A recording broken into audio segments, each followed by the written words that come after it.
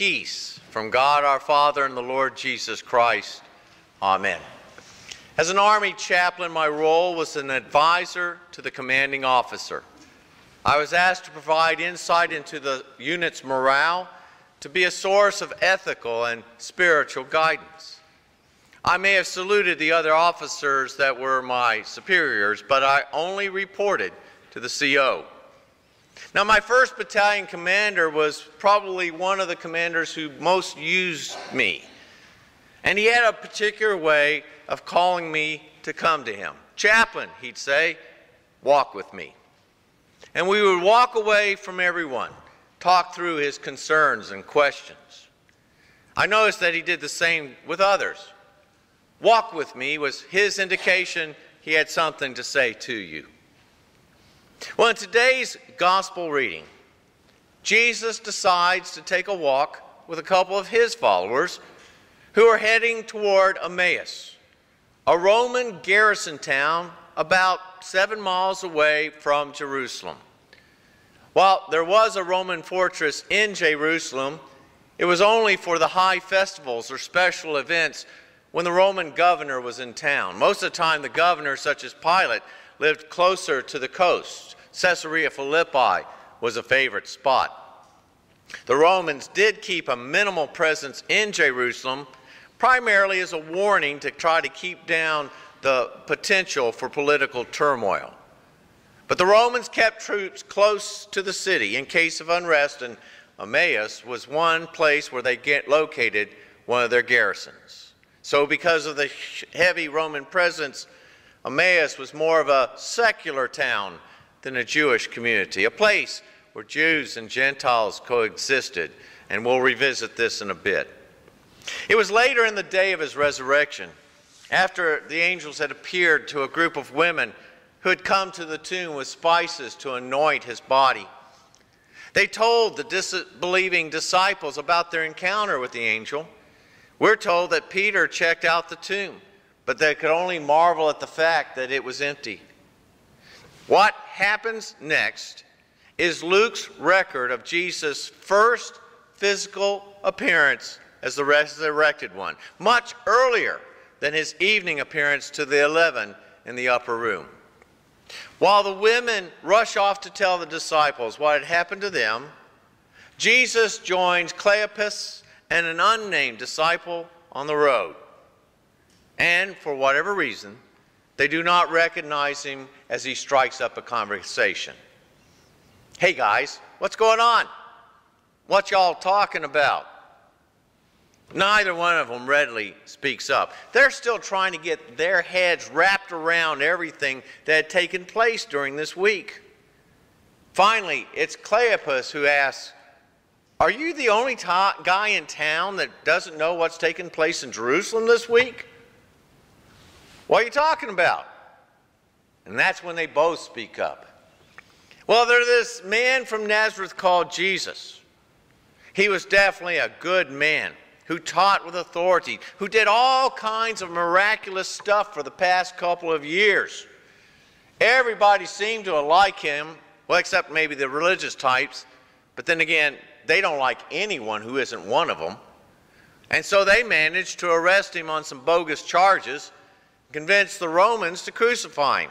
Now, we had thought he was the real deal, the Christ that God had promised to send. But here it is, three days later after he died. Some woman, women caused a commotion claiming they had gone to the tomb but failed to see his, find his body, telling us that angels had announced he was alive. And a couple of our friends went out to check it. The tomb was empty. There was no sign of Jesus, just the barrel cloths lying about. To which Jesus brusquely responds, O foolish ones, and slow of heart to believe all that the prophets have spoken. Was it not necessary that the Christ should suffer these things and enter his glory? And then Jesus begins to go through the testimony of the scriptures, Pentateuch, Pentateuch Psalms, Proverbs, prophets, pointing out to them all the places that spoke of the Christ and the promises of God. And as they approached Emmaus, Cleopas and the other guy asked him to stay with them. Hey, it's getting dark, day's about done. And Jesus does. He went into the house with them, he sat down at table with them. He took up the bread that had been served, spoke a prayer of thanks over it, broke the loaf, began handing out its pieces. And that's when the two of them recognized who he was, just before he suddenly disappears. Didn't we feel on fire as he conversed with us on the road, as he opened up the scriptures to us?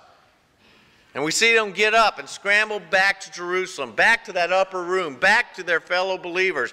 The Lord has risen indeed.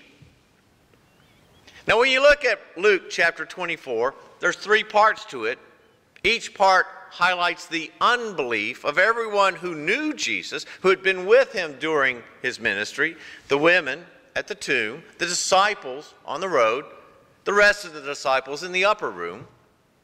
Everyone seems to have this hard time grasping on what was going on. It wasn't that they refused to believe as much as they simply couldn't, it was simply incredible to them. The angels had to remind the women at the tomb what Jesus had said. Here on the road to Emmaus, Jesus had to do the same thing with Cleopas and the other guy. And even when he appears to them in the upper room, what do we hear Jesus say? Thus it is written that the Christ should suffer and on the third day rise from the dead, and that repentance for the forgiveness of sins should be proclaimed in his name to all nations, beginning from Jerusalem. You are witnesses of these things. Ah, but did you catch it? It was subtle. You may have missed it. That repentance for the forgiveness of sin should be proclaimed in his name to all nations, beginning from Jerusalem. You see, if you and I had made that statement, most likely we would have said something more like beginning at Jerusalem, because that's where they were. Jesus goes on to tell them to stay in the city till you're clothed with power from on high. They're in Jerusalem, and they were told to stay in Jerusalem. So it would make sense that they should have been told to be witnesses beginning at Jerusalem, but that's not what Jesus said. Jesus says beginning from Jerusalem. Jesus goes from Jerusalem to Emmaus. Now, at first glance, that's not very impressive until you think about it. You see, Jerusalem and the temple were the center of the Jewish nation and its faith. Jerusalem represents the spiritual center of Judaism. The early church initially gathers in Jerusalem, but they will be instructed you will receive power when the Holy Spirit has come upon you and you will be my witnesses in Jerusalem and in Judea and Samaria and to the ends of the earth. Notice the progression that Jesus pictures for his church from Jerusalem to Judea and Samaria and to the ends of the earth. Things may start in Jerusalem. The church certainly initially gathers at Jerusalem, but Jesus is speaking in terms of movement from Jerusalem. Jesus himself moves from Jerusalem to Emmaus. The journey of the gospel begins with a walk with Cleopas and the other guy. The first thing Luke records of the resurrected Jesus is his walking with two confused disciples lost in their thoughts from the spiritual center of their faith to a secular Roman garrison town. Before he appears to the eleven behind locked doors before he breathes on them or gives them their commission or their marching orders. Before Jesus does any of the things that we will readily recall happening on that very first Easter, Jesus walks from the spiritual center of Jerusalem, where the faith was forming, to a secular Roman garrison town where the presence of the Lord is revealed in the breaking of bread. And in watching Jesus walk from Jerusalem to Emmaus, we're given an impression that the church was always meant to be a movement of the gospel. And this is where we often get things turned around in our minds. You see, when we say church, we mentally picture what? A structure with stained glass windows and altars and candles and pews in it. And we say things like, well, I'm going to church. Or church starts at 10:30 a.m. Or even, let's get our church on. Do you see the problem here? You see, when we think and speak of the church like this, we relegate it to a place. And then we settle into our place and we find our spaces that we occupy and ask visitors to get out of. The church, however, was never meant to be a place to settle or occupy. The church is a calling from God to his people. Walk with me. The word church in the Greek is ekklesia, which, when properly translates, means to be called out. The word, as it's found in extra biblical Greek texts and histories, references the meetings of the Greek and Macedonian city states. Think of the movie 300, where the Spartan king is confronted with Persian emissaries demanding Spartan capitulation. And although it's dramatically altered in the movie, gathering the people in the city center for decision making took place, and these were referred to as ecclesia. And so when God refers to his people as the church, he's not talking about where they gather, but what they do as a called out gathering of folks. You are my witnesses, he tells us. We are God's people, and we're given a purpose by God's grace.